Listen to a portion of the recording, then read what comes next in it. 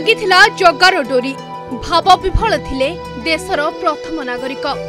ମହାବାହୁଙ୍କ ଦର୍ଶନ କରି ଆଖିରୁ ଝରି ଆସିଥିଲା ଭାବାବେଗର ଲୁହ। ସ୍ୱାଗତ କରିବାକୁ ସଜେଇ ହୋଇଥିଲା ଶ୍ରୀମନ୍ଦିର। କାରଣ ଜଗା ଦର୍ଶନ ପାଇଁ ପୁରୀ ପହଞ୍ଚିଥିଲେ ରାଷ୍ଟ୍ରପତି। ପୂଜାର୍ଚ୍ଚନା କଲେ ମାନସିକ କରି ଚଉଦ ହାତିଆ ବାନା ବାନ୍ଧିଲେ।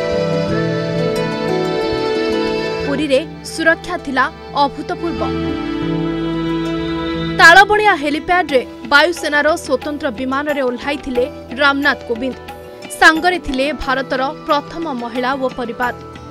ବଡ଼ଦେଉଳ ନିକଟରେ ପହଞ୍ଚିବା ପରେ ସାଧାରଣ ଜନତାଙ୍କୁ ହାତ ହଲାଇ ଅଭିବାଦନ ଜଣାଇଥିଲେ।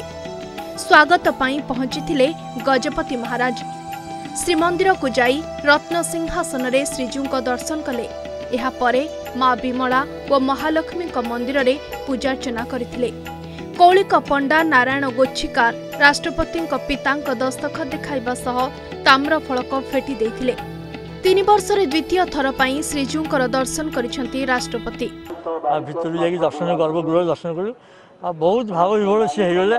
କହିଲେ ମୁଁ ସେତେବେଳେ କହିଥିଲି ବୋଲି ମହାପ୍ରଭୁ ପୁଣି ପୁନର୍ବାର ମୋତେ ଡାକିଛନ୍ତି ତେଣୁ ମୁଁ ବହୁତ ଆନନ୍ଦ ହେଇଛି ମୁଁ ସେତେବେଳେ ଆଶୀର୍ବାଦ ଦେଲି ମୁଁ କହିଲି ପ୍ରଭୁଙ୍କୁ ଆପଣ ସ୍ମରଣ କରି କହନ୍ତୁ ଯେ କେମିତି ଦେଶରୁ କରୋନା ଲୋପ ପାଇବ ଆଉ ଭାରତ ଯେମିତିକା ପୃଥିବୀର ନମ୍ବର ୱାନ୍ ହେବ ଯେତେବେଳେ ପ୍ରାର୍ଥନା କରୁଥାନ୍ତି ଯେତେବେଳେ ମୁଣ୍ଡିଆ ମାରୁଥାନ୍ତି ସେତେବେଳେ ପୁରା ଭାବ ବିହୁଳ ହୋଇପାରୁଛନ୍ତି ଆଖି ମଧ୍ୟ ବହୁତ ଛଳ ଛଳ ହେଉଥାଏ ଆମର ସେବକମାନଙ୍କୁ ମଧ୍ୟ କହିଲେ ଜଗନ୍ନାଥ ସଂସ୍କୃତି ଜଗନ୍ନାଥ ଜଗନ୍ନାଥ परंपरा सारा विश्व में कहाँ पे नहीं है और सचमुच भगवान है उनका सेवा कीजिए इस सेवक आपके साथ है इसी हिसाब से अ, मेरे को भी उनका बात सुन के बहुत अच्छा आनंद मिला ନୀଳଚକ୍ରର ଶୀର୍ଷ ଦେଶରେ ଯେଉଁ ବାନା ବନ୍ଧାଯାଏ ସେଇ ବାନାଟି ଆଜି ତାଙ୍କର କୌଳିକ ପଣ୍ଡା ଯିଏ ଅଛନ୍ତି ନାରାୟଣ ଗୋଛିକାର ତାଙ୍କ ନାମରେ ରିସିଟ୍ କାଟିଛନ୍ତି ତେଣୁ ତାଙ୍କ ପତାକାଟି ଅପରାହ୍ନ ପାଞ୍ଚଟା ସମୟରେ ନୀଳଚକ୍ରର ଚୂଡ଼ାମଣ୍ଡନ କରିବ ସେ ବାନା ରାଷ୍ଟ୍ରପତିଙ୍କ ନାମରେ କଟାଯାଇଛି ଏବଂ ତାଙ୍କର ବନ୍ଧାଯିବ ଏଇ ବାନାକୁ ଚୁନରା ସେବକମାନେ ବାନ୍ଧିଥାନ୍ତି ତେଣୁ ଆମେ ନେଇକରି ସନ୍ଧ୍ୟା ପାଞ୍ଚଟା ସମୟରେ ଏଇ ବାନା ଶ୍ରୀମନ୍ଦିର ଉପରେ ବାନ୍ଧି। ଦୁଇ ହଜାର ଅଠରରେ ରାଷ୍ଟ୍ରପତିଙ୍କ ସାଙ୍ଗରେ ମୁଁ ଯାଇଥିଲି ମନ୍ଦିର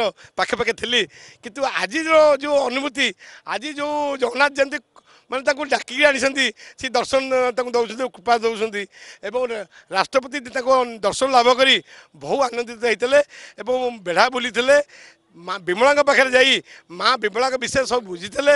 ତାଙ୍କୁ ପୁଙ୍ଖାନୁପୁଙ୍ଖ ଭାବେ ଚିଫ୍ ଆଡମିନିଷ୍ଟ୍ରେଟରୁ ସେ ସବୁ ଆଲୋଚନା କରିଥିଲେ। ମୋତେ ବି ସୁଯୋଗ ମିଳିଥିଲା ମୁଁ ମନ୍ଦିରରେ ମା- ମାଙ୍କ ବିଷୟରେ କହିବା ପାଇଁ ବିମଳାଙ୍କ ବିଷୟରେ। ଦର୍ଶନ ପରେ ଶ୍ରୀମନ୍ଦିର ବିକାଶ ପାଇଁ ସମର୍ପଣ ନିଧିକୁ ଦାନ। ନିଜ ଦରମାରୁ ଏକ ଲକ୍ଷ ଟଙ୍କା ପ୍ରଦାନ କରିଛନ୍ତି ରାଷ୍ଟ୍ରପତି। ପୂର୍ବରୁ କେନ୍ଦ୍ରମନ୍ତ୍ରୀ ଧର୍ମେନ୍ଦ୍ର ପ୍ରଧାନ ଓ ଗଜପତି ମହାରାଜ ଏ ଅଭିଯାନକୁ ଗୁରୁତ୍ୱ ଦେଇ ଆସୁଛନ୍ତି। ଆଉ ଏହି ଅଭିଯାନରେ ନିଜକୁ ସାମିଲ କରିଛନ୍ତି ରାମନାଥ କୋବିନ୍ଦ।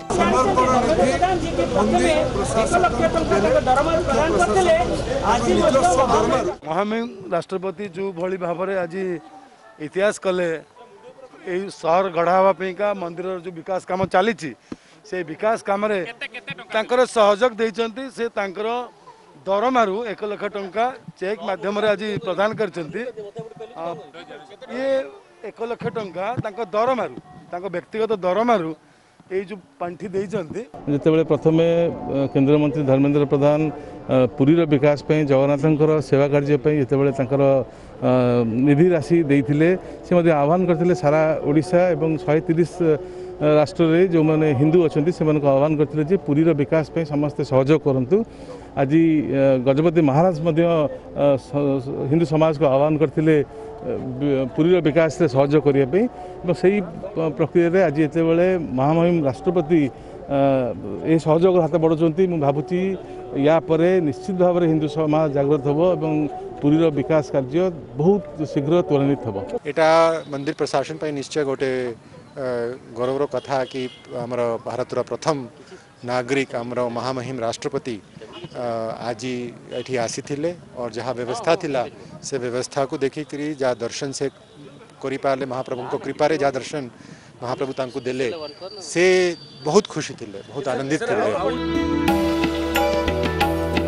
श्रीमंदिर पर कोणार्क जाते राष्ट्रपति विश्व प्रसिद्ध सूर्य मंदिर बुली देखिले फ़ोटो उठाइले मंदिर दर्शन पर आईओसीएल व्याख्यान परिदर्शन करते ଓଟିଡିସିରେ ମଧ୍ୟାହ୍ନ ଭୋଜନ ପରେ ଭୁବନେଶ୍ୱର ଫେରି ଆସିଥିଲେ ରାମନାଥ କୋବିନ୍ଦ। କୋଣାର୍କ ସୂର୍ଯ୍ୟ ମନ୍ଦିର ବିଶ୍ୱ ପ୍ରସିଦ୍ଧ ଏବଂ ଏହି ସୂର୍ଯ୍ୟ ମନ୍ଦିରକୁ ପରିଦର୍ଶନ କରିବା ପାଇଁ କଳା ସଂସ୍କୃତି ଓଡ଼ିଶାର ଜାଣିବା ପାଇଁ ଆଜି ମହାମହିମ ରାଷ୍ଟ୍ରପତି ଭାରତର ପ୍ରଥମ ନାଗରିକ ଆଜି ପରିଦର୍ଶନ କଲେ କୋଣାର୍କ। ଆମ କୋଣାର୍କବାସୀମାନଙ୍କ ତରଫରୁ ସମ୍ପୂର୍ଣ୍ଣ ଆମେ ଖୁସି ଅଛୁ ଏବଂ ଏହି କାର୍ଯ୍ୟକ୍ରମକୁ ଆମେ ସ୍ୱାଗତ କଲୁ। ଭବ୍ୟ ସ୍ୱାଗତ କଲା ପରେ ରାଷ୍ଟ୍ରପତିଙ୍କୁ ସେ ବ୍ୟାଖ୍ୟାନ କେନ୍ଦ୍ର ବର୍ତ୍ତମାନ ପରିଦର୍ଶନ କରିବେ ଯେଉଁଟାକି ଆମ ସମସ୍ତ ପାଇଁ ଗର୍ବ ଆଉ ଗୌରବର କଥା। ମହାପ୍ରଭୁଙ୍କ ଦର୍ଶନ ପରେ ଶ୍ରୀମନ୍ଦିର ପ୍ରଶାସନ ପକ୍ଷରୁ ରାଷ୍ଟ୍ରପତିଙ୍କୁ ଖଣ୍ଡୁଆ ପାଟ ଓ ପ୍ରଭୁଙ୍କ ଦୁର୍ଲଭ ନାଗାର୍ଜୁନ ବେଶର ଫଟୋ ଚିତ୍ର ଭେଟି ଦିଆଯାଇଛି। ପୁରୀରୁ କ୍ୟାମେରାମ୍ୟାନ୍ ସନାତନଙ୍କ ସହ ଆଲୋକ ଆଶୁତୋଷ ଓ କୋଣାର୍କରୁ ରୋଶନ ରଥଙ୍କ ରିପୋର୍ଟ ଅର୍ଗସ୍ ନ୍ୟୁଜ୍